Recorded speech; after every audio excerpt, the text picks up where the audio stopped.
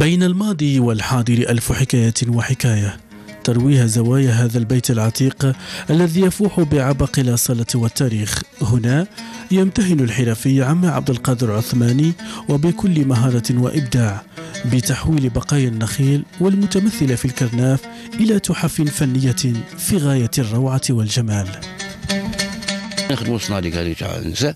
كل امرأة تجي تعرس لازم تدي صندوق. كما اللي نخدمون بديت بالطريقة هذه من بعد ب 83 بديت ننشط في في النجارة.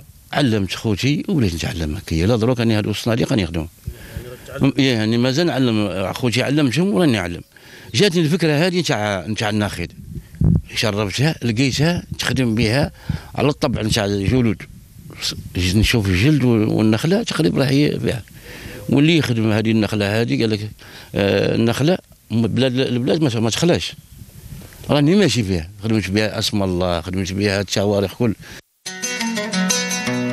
بروحه المفعمة بحب الوطن هكذا جسد الحرفي العديد من المعارك التي مرت بها الجزائر. في مجسمات تحاكي الواقع من أجل التعريف بها كي تبقى بصمة للأجيال القادمة. الفكرة هذه تاع الدغامش درت فيها المكحلة درت فيها الرمح درت فيها أي حاجة. الحجرة زدت الحجرة درت الدم في ال في, ال في, ال في الراية هذيك.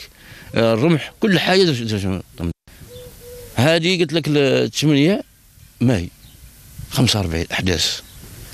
اللي الناس مات 45 ألف. رمش تعين على الراية الوطنية. أنا نأكد على الراية الوطنية باش نوريها الأولاد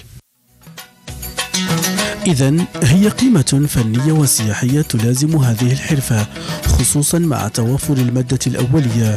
ومن أجل تطويرها وإنقاذها من الزوال يسعى الحرفي لتعليم الشباب أبجديات هذه الحرفة.